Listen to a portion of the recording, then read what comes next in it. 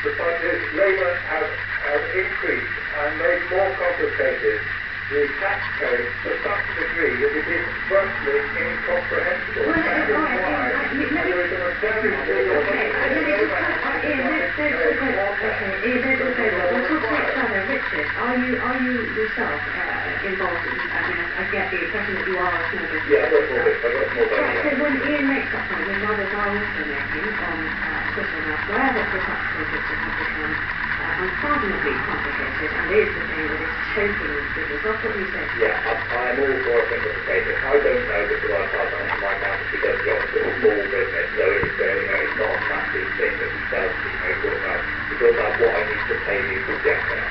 Uh, I, I'm all for simplification. I, I'm also for cutting down on the tax budget because they are, they're subtracting the wealth from everybody's work.